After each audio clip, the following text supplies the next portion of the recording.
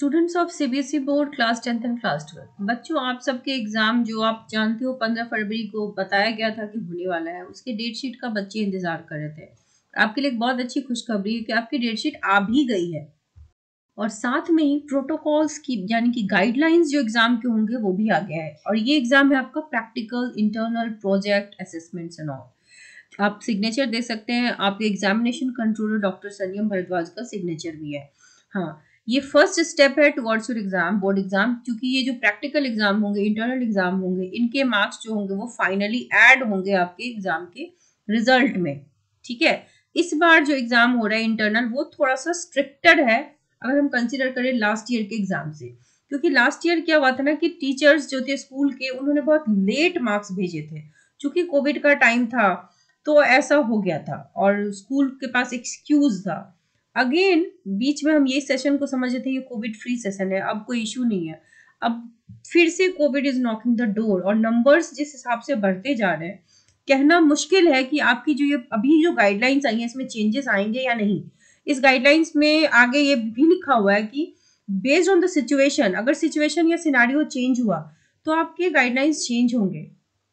हमारे प्रधानमंत्री health minister और आपके जो एजुकेशन मिनिस्टर हैं, सबकी मीटिंग हुई है और तत्काल कोविड प्रोटोकॉल्स को फॉलो करने के लिए स्कूल को नोटिस भी दिया गया है कि स्कूल जो होंगे वो कोविड के प्रोटोकॉल्स को फॉलो करते हुए आपके प्रैक्टिकल्स लेंगे। छोटे छोटे बैचेस बनाएँगे पंद्रह पंद्रह बच्चों का और उसके बाद वो सोशल डिस्टेंसिंग का पालन करते हुए अभी एग्ज़ाम लेंगे। ये चाह रहे कि आपका बोर्ड एग्ज़ाम हो जाए ऑन टाइम बट जिस तरीके से नंबर्स बढ़ रहे हैं, उस तरीके से कहा नहीं जा सकता कि आपका एग्ज़ाम पोस्टपोन होगा डिले होगा ऑनलाइन होगा या क्या होगा। That will be decided by the severity of Covid वैसे तो ये 27 पेज का बहुत बड़ा पीडीएफ है, लेकिन इसमें जो इम्पोर्टेंट चीज़ है, वो फ़र्स्ट पेज पे ही मेंशन किया हुआ है। कल मैंने एक वीडियो बनाई थी इलेबोरेट वीडियो इसको पूरा का पूरा एक्सप्लेन किया था। आप डिस्क्रिप्शन बॉक्स में जाकर के उस वीडियो की लिंक देख सकते हैं, आपको इलेबोरेट एक्सप्लेनेशन मिल जाएगी। आप देख सकते हैं, आपको फ़र्स्ट जनवरी को फ्री कर दिया गया है, यानी कि you can enjoy first January freely आपका जो प्रैक्टिकल एग्ज़ाम है, वो सेकेंड जनवरी से स्टार्ट होगा और लास्ट करेगा फोर्टीन ऑफ़ फेब तक. और जो डेट ऑफ़ अपलोड है मार्क्स के, वो सेकेंड फरवरी से सॉरी सेकेंड जनवरी से स्टार्ट होंगे और फरवरी टू चौदह तक वो एंड करेंगे. तो इसमें फॉर्मेट क्या होगा? जैसे आज आपका प्रैक्टिकल एग्ज़ाम है सपोज़ आज दो जनवरी है तो आज आप सबके प्रैक्टिकल एग्ज़ाम्स होंगे। क्लास टेंथ वालों के लिए एक्सटर्नल एग्जामिनर्स नहीं आएँगे, लेकिन क्लास ट्वेल्थ वालों आपके लिए जो है वो रीजनल ऑफ़िस से एक्सटर्नल एग्जामिनर्स को मंगाया जाएगा, बुलाया जाएगा और आपके स्कूल के टीचर उनके साथ कोऑर्डिनेट करके आपसे क्वेश्चंस पूछेंगे। आपका एक तो पेपर वर्क होगा लिखोगे भी और आपको प्रैक्टिकल करके भी दिखाना है। एंड बेस्ड ऑन दैट वो आपको मार्क्स देंगे। उनके सामने ही उन मार्क्स को अपलोड करके भेजना है सीबीएसई e को।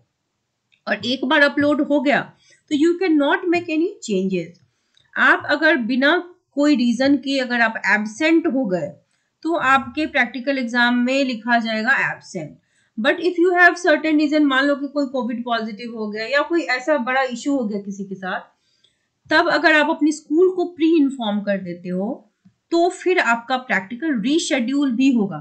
ठीक है? देर इज़ अ डिफरेंस अब कुछ बच्चे इसमें बहाने करेंगे।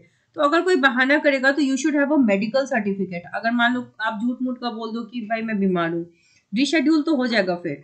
But you have to show the medical certificate at that time तो ये जो डेट्स है, उसी डेट को अपलोड करते रहना है। आप अपने स्कूल के टीचर के साथ अच्छे टर्म्स बना के रखिए। क्योंकि एक्सटर्नल तो ठीक है एक्सटर्नल नाम से जरा डर लगता है।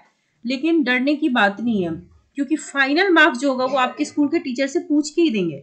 क्योंकि कभी कभार क्या होता है ना कि जो अच्छा स्टूडेंट है, वो भी कभी कभी आंसर गलत दे देता है या गड़बड़ दे देता है। लेकिन स्कूल जो है वो अपने अच्छे स्टूडेंट को प्रमोट करेगा, क्योंकि अल्टीमेटली हर स्कूल को अच्छे रिज़ल्ट चाहिए होते हैं। और कम से कम स्कूल वालों की कोशिश होती है कि इंटरनल असेसमेंट में बच्चों को लगभग वो पूरे नंबर दे दे, क्योंकि थ्योरी में तो मार्क्स कटने ही कटने हैं। तो इसीलिए वो आपके टीचर से तो ज़रूर बात करके देगा फाइनली आपका टीचर ही आपके डिसाइड करने वाले हैं कि कितने मार्क्स आपको देने हैं। सो so, आप अपने टीचर्स के साथ अच्छे टर्म्स बना के रखिए। अगर अच्छे टर्म्स नहीं भी हैं कुछ बच्चे शरारती होते हैं उनकी इमेज खराब होती है तो भी स्कूल के टीचर्स है ना आपके लिए थोड़े से वो सॉफ्ट कॉर्नर ज़रूर रखते होंगे। तो आप अपने टीचर के साथ बात कीजिए। अब ज़्यादा दिन बचा नहीं है। और I wish you all the very best जो भी अपडेट होगा बच्चों को चैनल के माध्यम से ज़रूर दिया जाएगा। सारे एमसीक्यूज बताए जाएँगे इंपॉर्टेंट सारे डेट्स दिए जाएँगे सारी चीज़ें बताई जाएँगी।